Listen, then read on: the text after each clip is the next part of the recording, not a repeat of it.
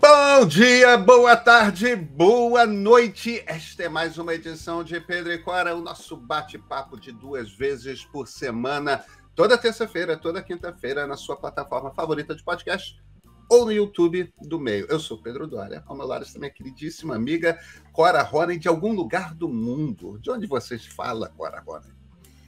Eu falo de Tel Aviv. De Tel Aviv? Uma cidade sensacional. Então, Cora, esse programa a gente vai falar só sobre a sua experiência israelense. Vamos nessa. Vamos.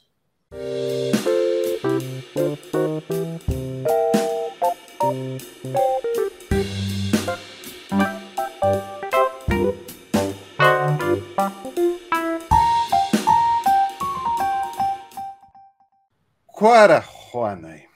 Agora você tem que me falar o que, que você está achando de Israel, Cora. Eu estou curioso. Menino, como você vê, o meu cenário mudou.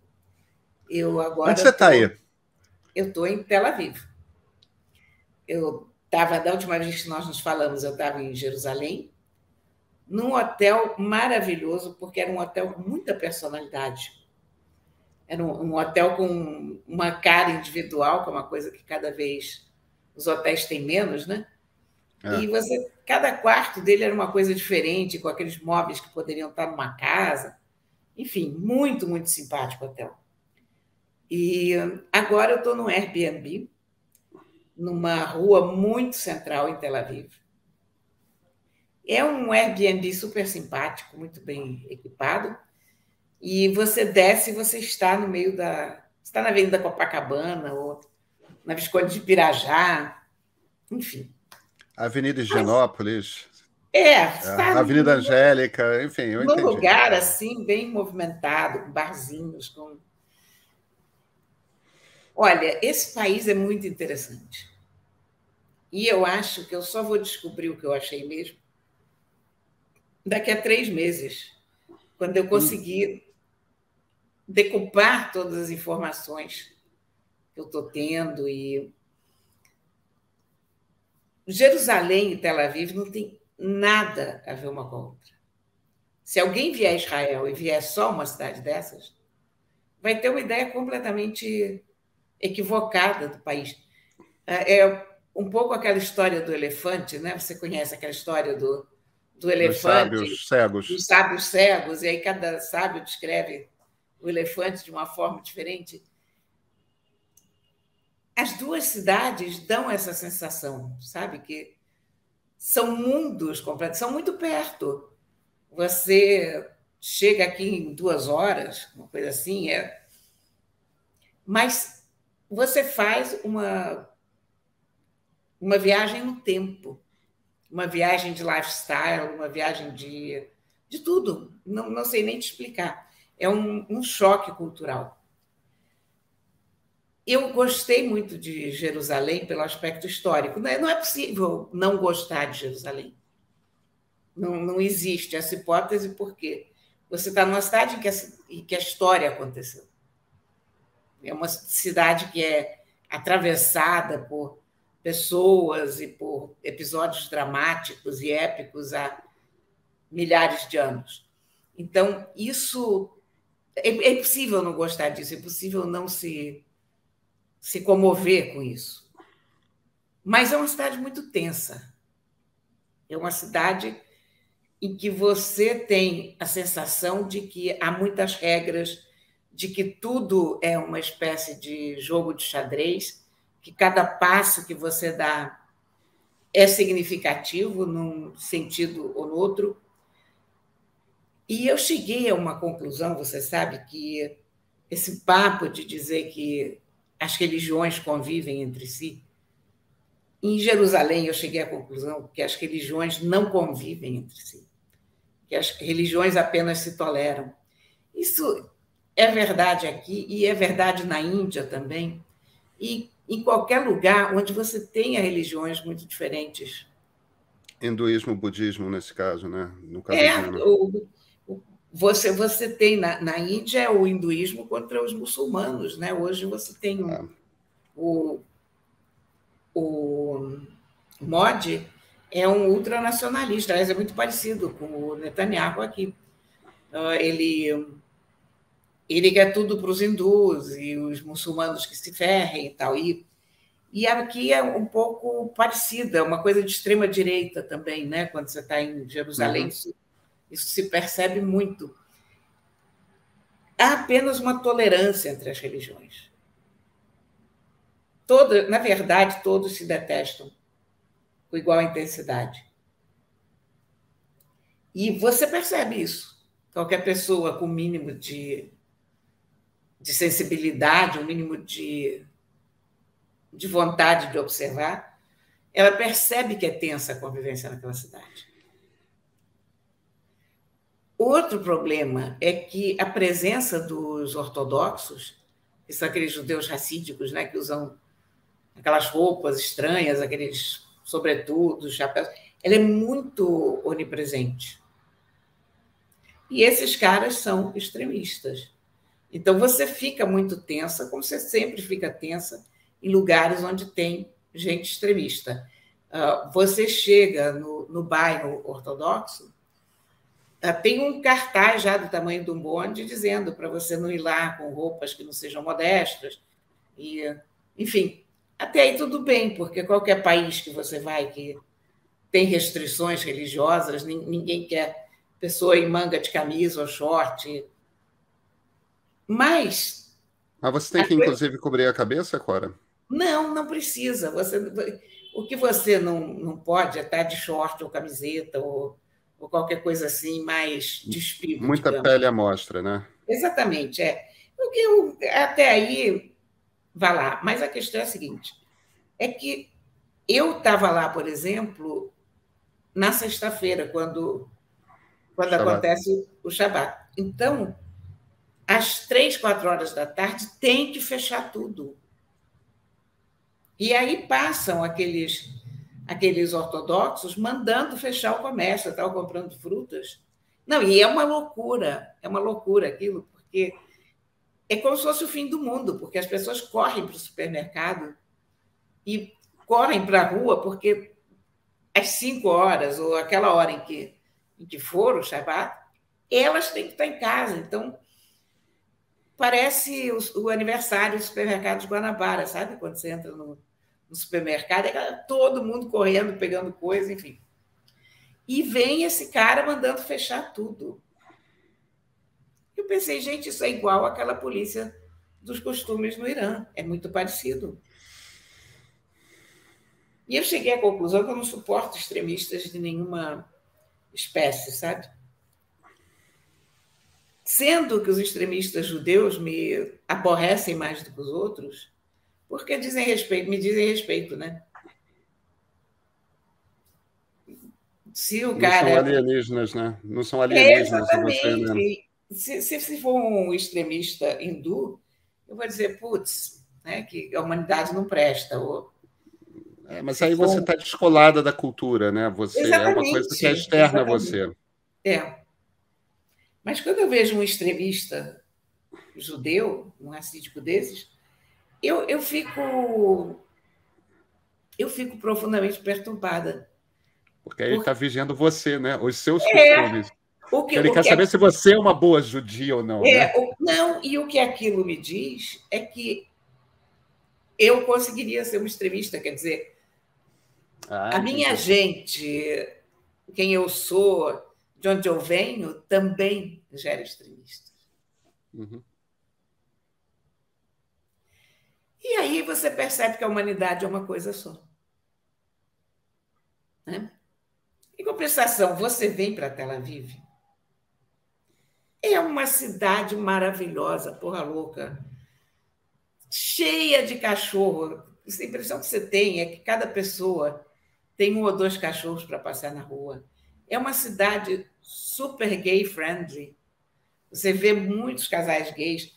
Eu vi muita gente fumando maconha de uma forma mais ou menos aberta.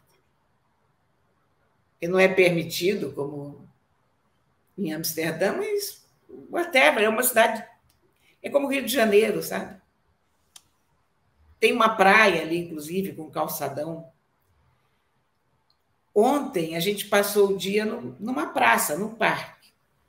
Nós compramos comida num tipo um espoleto desses da vida, um lugar chamado Omama, onde tem toda a comida judaica que você possa imaginar. Então, é aquela comida que se fazia na minha casa. Então, ó, a vagem da tia Eva, sabe?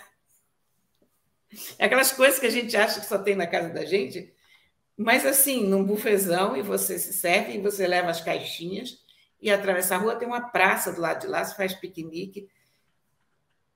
E essa praça extremamente civilizada, com mesas de ping-pong, com academia de ginástica ao ar livre, com quadrinha de basquete para as crianças, com lago, peixe, pássaro, pessoas convivendo. E eu me dei conta como a gente precisaria de alguma coisa assim no Rio. Como a gente perdeu em qualidade de vida na cidade do Rio de Janeiro. Porque ali eu, vi certas coisas que eu acabei fotografando. O meu neto foi jogar basquete com os meninos, viu os meninos jogando bola ali. Foi lá se meter, falando meio em inglês, meio em hebraico. Quando eu olhei, ele estava lá com os meninos. Daqui a pouco chega um, um rapaz um pouquinho mais, mais velho, que tira o celular do bolso, bota o celular assim numa mesa ali perto e larga aquele celular lá e vai jogar. É uma cena que para qualquer carioca é impensável. Você não vai largar o celular ali na mesinha enquanto você joga basquete. Não, não existe isso, né? E aí você começa a perceber que tem uma, uma bolsa largada aqui, que ninguém tem medo de ser assaltado. É claro, aqui é o lugar mais seguro do mundo, até o momento que deixa de ser. Claro. Mas a violência é diferente. Né? De repente, tem uma explosão, você tem um, um atentado, é uma coisa. Outra coisa é essa insegurança 24 horas que a gente vive no Rio, que a gente não, não tem coragem de tirar o celular do bolso para fazer uma foto. Aqui, sobre esse aspecto, a gente vive muito bem. Lugar extremamente caro, Pedro Doria. Ah, é mesmo? Mas caríssimo. Talvez seja o lugar mais caro que eu, que eu já encontrei, viu? Nossa. É. Tá, os táxis são selvagens. Táxi, você botou o pé no táxi, não há hipótese de você pagar menos do que 40, 50 shekels, isso é uns 75 reais, 80 reais. Muito, muito caro. E para os israelenses também. Todos se queixam muito do. Ah, entendi. Quer dizer, não é como se os salários fossem equivalentes. Não, o custo de vida é altíssimo. A tal ponto que a minha irmã, na semana passada, recebeu um, um amigo dela que é músico israelense que mora na Alemanha, porque aqui estava caro demais. Olha, para a pessoa ir para a Alemanha, porque aqui está caro demais, não é exatamente um lugar barato, a Alemanha tudo é em euro, né? Claro. Agora, aqui eu me senti muito, muito bem. A cidade, a cidade tem um comércio. É engraçado, aquele negócio de uma cidade segura e diversificada, você tem um comércio de rua fantástico, fantástico. Que a gente já perdeu no Rio, né? Porque tudo é farmácia. Aqui é uma quantidade de coisas, uma quantidade de restaurantes, de comidas diferentes, de estilos diferentes a variedade da música que você encontra. Você entra num lugar, está tocando uma música árabe maravilhosa. Você sai, está tocando uma música grega. Depois você sai, está to... Isso eu sinto falta também no Brasil, porque a gente tem a gente tem um tipo de música que fica só aquilo. Né? Não tem você não, não há como você chegar no Rio em algum lugar e estar tá tocando uma música árabe ou grega ou, ou russa Aqui é sensacional, aqui parece que você está fazendo um tour do mundo, né? Um tour musical. Agora, é um país complicado, né? Complicado em que sentido? a questão religiosa é presente num grau que a gente não concebe. O, você pega os jornais, eu sou aquele, aquela pessoa que compra isso, né? A gente pensa, quem é que ainda compra isso? Eu, né? Aí você pega o Haaretz, o Jerusalem Post. Que são os dois jornais de língua inglesa, né? São. Cara, eu vou te dizer que talvez 60% do noticiário político e local tem alguma referência religiosa. Mas isso tem a ver com o momento da história também, né? Agora, tem. que está a formação do gabinete Netanyahu, que, com tem. vários partidos tem. ortodoxos, né? Quer dizer, tem um. Eu, eu aliás, eu, eu li um artigo ótimo aqui no, no Jerusalem Post. Eu deixei até ele guardado aqui para ver o nome do jornalista, é o Amos Asrael. E um artigo muito bom sobre a revolta do israelense médio. O israelense médio sendo aquela pessoa como nós somos, que não está não tá nem para um lado nem para é uma pessoa do centro. É uma pessoa que quer viver em paz. É uma pessoa que quer buscar saídas para uma vida normal. E esses caras estão. O, o que o que esse Amos alega é que eles estão a um ponto de explodir. É um, um grupo que nunca se manifestou de uma forma muito muito enfática. É verdade, é, é o pessoal que construiu o país. É o pessoal que veio para cá para trabalhar, para para crescer, para ficar em paz. Mas a, a questão política fica sempre com os extremistas. E agora, com o Netanyahu, com esse, esse novo governo, eles estão tensos, porque toda a ideia da fundação de Israel era a de você ter um novo judeu, né? A ideia do Theodor Herzl era fazer um grupos modernos de pessoas contemporâneos, pacíficos. E o teor dessa, desse governo novo é mudar isso. Então, os, os ortodoxos recebem um salário para um Bolsa Família, uma espécie de Bolsa Família, para estudar. Eles não, eles não fazem o serviço militar, que é obrigatório. Eles ficam trancados naquelas yeshivas, né? É, e ficam, ficam estudando e rezando o tempo todo. É. As yeshivas, para quem não conhece, são, são as escolas religiosas, é onde você estuda a Torá. É o equivalente às madraças islâmicas, né? Exatamente, exatamente. E, e esse pessoal, que é o pessoal secular, está começando a ficar um pouco irritado de pagar imposto para sustentar pessoas que não estão fazendo nada teoricamente. Só estão estudando a Bíblia. Mas estão estudando a Bíblia e rezando. Sabe? É complicado. Então, a questão política aqui é muito, muito explosiva, né? Muito, a gente é um tema que você começa a conversar e dá briga, dá discussão, há, há muita, muita opinião, ninguém sabe como resolver questão da convivência com os palestinos. E ninguém sabe também como resolver essas questões internas de Israel, de como, como lidar. Porque esse pessoal agora está forte no, no gabinete. Eles têm, se não me engano, sete, sete cadeiras no parlamento. Eles exercem poder fundamental, porque o Netanyahu se elegeu graças a eles. Então, na verdade, estão dando as cartas. Eles querem rever o direito de retorno.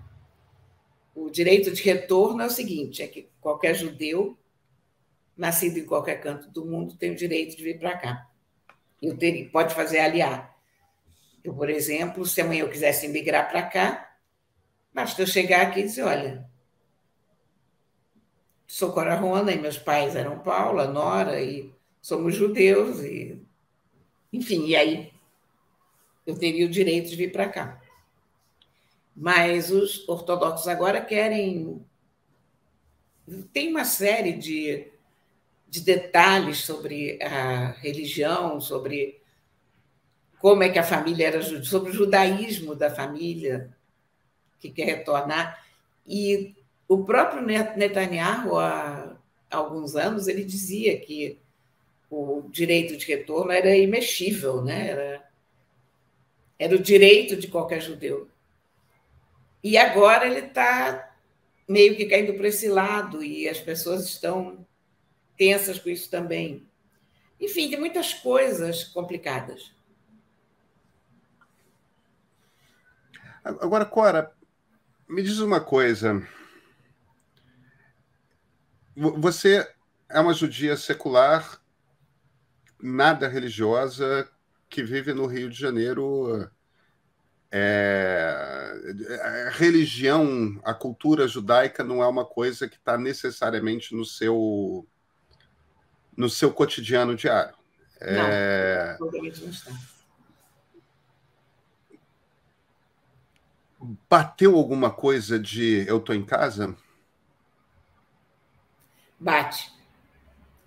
Bate porque, embora eu não seja uma pessoa religiosa, eu, eu, eu não tenho como fugir do fato que eu sou judia. A identidade judaica ela não está ligada necessariamente à religião. Claro. Ela, é, ela é, acima de tudo, uma questão cultural. É claro que se você falar com uma pessoa religiosa, ela vai te dizer que é, acima de tudo, uma questão religiosa, mas eu não vejo assim. Eu considero uma série de hábitos, uma série de costumes, uma série de de tudo que faz a nossa vida, de leituras, de comidas, por exemplo, esse restaurante que eu te falei, esse tipo, esse Oh Mama, você chega lá e você tem um, porque o, judeu, o filho de imigrantes judeus, como no meu caso, o que a gente comia em casa? Era essa comida aqui, não, não era arroz e feijão, a gente até comia arroz e feijão, mas não era o, o nosso cotidiano. Tem um, um doce húngaro, que é húngaro e judeu ao mesmo tempo, que é feito com semente de papoula. É tipo um. quase como se fosse um rocambole, uma massa diferente, mas recheado de de semente de papoula. Isso a minha tia fazia maravilhosamente bem, sempre fazia na época das festas e tal. E a gente passa na rua e tem fotos disso. Isso é aquela coisa que no Brasil a gente achava que só a nossa família comia isso, sabe? Que é um, um prato da nossa, uma receita familiar. Você chega na loja, tem um retrato desse tamanho do, do que a gente chama de você, macos na Hungria. Você né? comeu doce? Nossa, eu estou indo comprar mais. então, uma série de coisas assim, sabe? E outra, as pessoas são parecidas com a gente, fisicamente. Você sai na rua e você vê uma garota que poderia ser a tua sobrinha, ou que parece com a tua filha, ou uma senhora que parece com você não tem jeito, bate o negócio que eu estou em casa, você, você reconhece as reações das pessoas, você reconhece os gestos, é esquisito isso, sabe? E não tem a ver com religião, porque Tel Aviv passa volta e meia alguém de kippah, né? mas é mais raro e, e é uma cidade muito cosmopolita, de fato é. Kippah, se você me permite continuar como seu tradutor, Cora, Kippah é aquele chapeuzinho circular redondo que os homens judeus usam em, é, é, quando estão em cerimônias religiosas, que indicam que você tem que estar com a cabeça coberta perante Deus. Fora da sinagoga, quem usa kippah são pessoas religiosas. É uma é, maneira o, de você identificar. E também se chama Yarmulke, né? Yarmulke, é. é, é. E, mas, mas isso é em Yiddish, né? Que pai é hebraico e, e, e é, é íris, não é isso? Não, para dizer a verdade, eu não tenho certeza, eu não sei. Eu, Mas, eu também não tenho certeza, não, posso. Lá, lá, em Jerusalém, eles chamavam muito de, de Yarmulke, mais do que Kippah. Mas não sei. Como eu te digo, a, a minha experiência religiosa é zero, não tem. mas, mas é curioso, viu? Eu eu estava curiosa em ver o que, que, que, que ia acontecer, como é que seria a minha reação. E tive, é, é uma reação que eu tive também, de uma certa maneira, quando fui à Hungria pela primeira vez. Uhum. Porque todo mundo falava, ali foi uma, uma questão diferente pela comida, foi pela comida e pela língua. Porque, de repente, a nossa língua, o nosso código secreto familiar era falar pai, né? com todo mundo, como assim? Né? E, e aí eu tive um choque na Hungria. E aqui eu tive essa, essa sensação também de que eu poderia me mudar para cá. E, e eu estava vendo o Fábio, meu neto, brincando com aqueles meninos. E eu pensei: olha, esse garoto está. Ele pertence inteiramente. Ele é exatamente igual a todos os outros. Ele não tem nenhuma diferença dos demais. A gente, isso é muito curioso, como a Nina também parece muito com, com algumas meninas aqui, mas o Fábio é impressionante. Muito, muito engraçado isso. Mas Israel foi criada para isso, né, Cora? Para ter um, para ser uma casa para os judeus. É... Sabe o que, que é? É que genética é uma coisa hereditária, né? genética é uma coisa hereditária, certamente. Acho que dá para a gente fazer essa afirmação. Um pouco ousada, mas.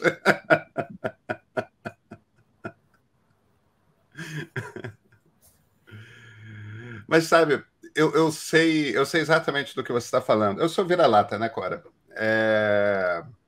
Meu lado judaico é sefaradita através do meu avô materno, mas eu tenho muitas famílias italianas e, e, e, e muitas famílias portuguesas. E, ainda um, um pé tupi é, do, do que eu consegui já mapear. É, meu pai é genealogista amador, então eu conheço os caminhos todos de, de, de todas essas coisas. É, mas minha família é muito brasileira. Tipo, minha avó materna os pais eram portugueses. Agora, com exceção dela, é tudo brasileiro, brasileiro, brasileiro, brasileiro para cima.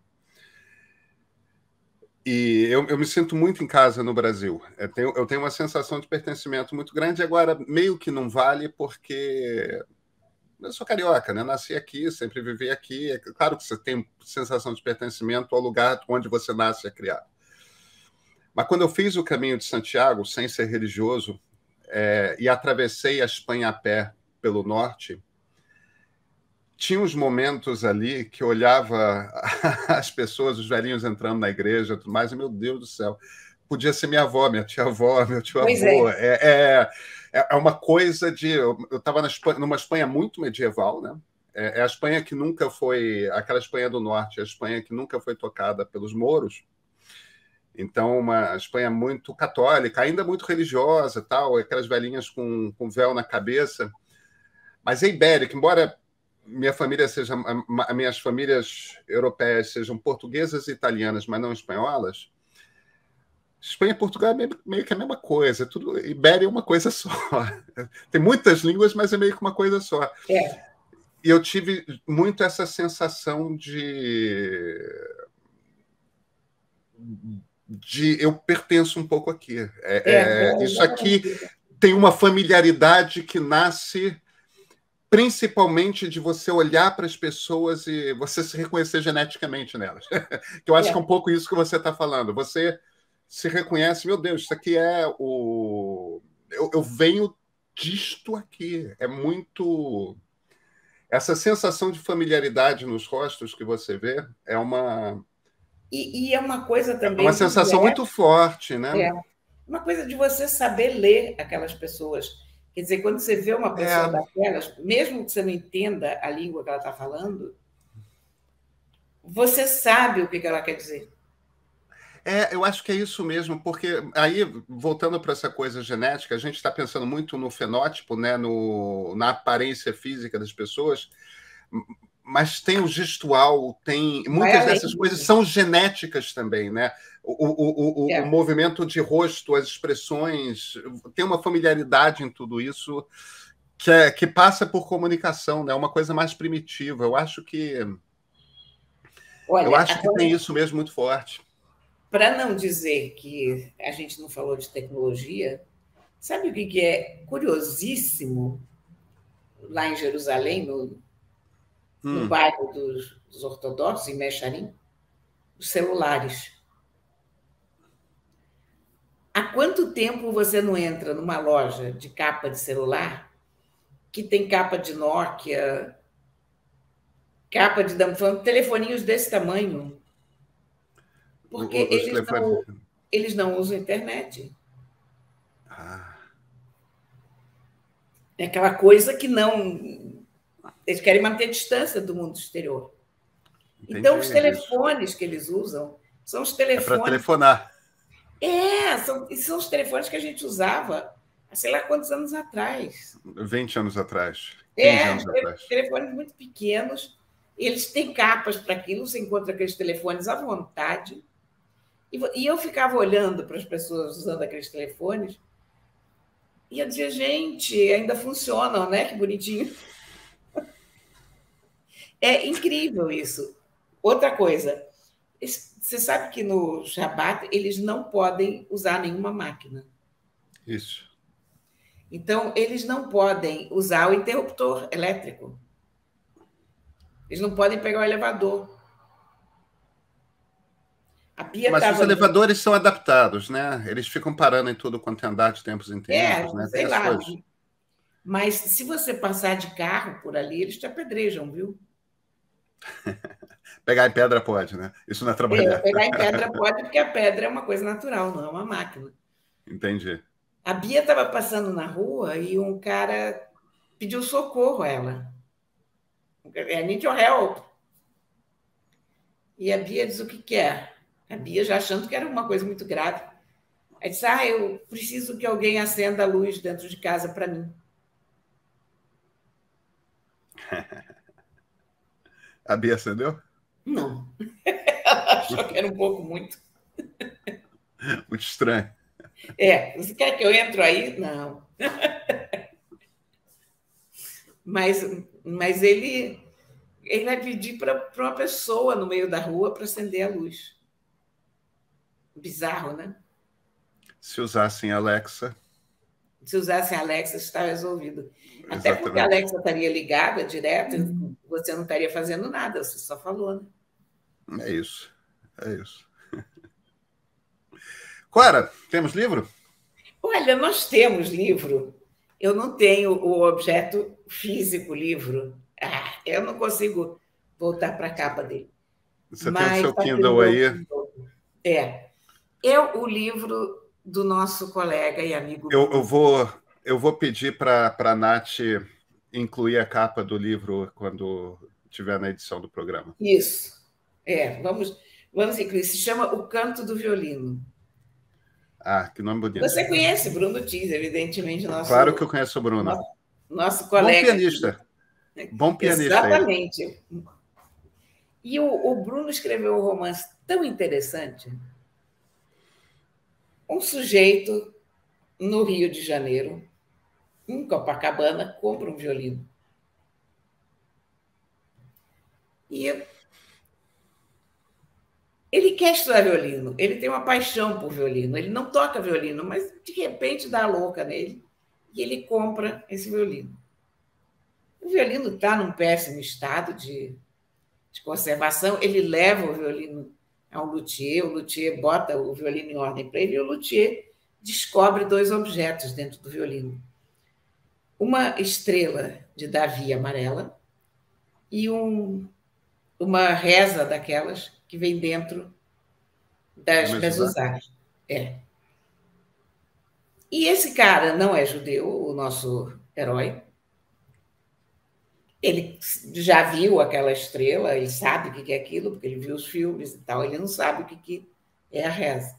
E aí ele fica curioso e ele começa a procurar quem, quem é o dono desse violino, como é que foi isso.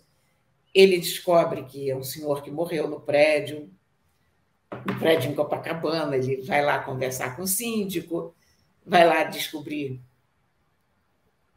qual é a história que está por trás do dono daquele violino.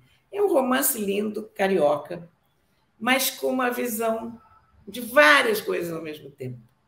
Então, você descobre muita coisa sobre os violinos, porque o nosso amante de violinos que comprou esse violino não sabe tocar. Ele já esteve em Cremona, visitando o estúdio dos Stradivarius, porque ele estava uma vez por ali perto e foi lá, foi lá ver. E, enfim, então ele fala de música, fala de judaísmo, fala de do Rio, fala da vida. É muito bonitinho o livro, muito, muito. É uma leitura agradável, leve, simpática. Recomendo ah, muito. E legal. publicado pela Máquina de Livros, que é a editora do Bruno. Do Bruno e do Alzer. É. Então, é uma editora que tem feito um trabalho ótimo, muito interessante, tem publicado ótimos livros, e esse do Bruno é particularmente delicado e bonito. Ah, que legal.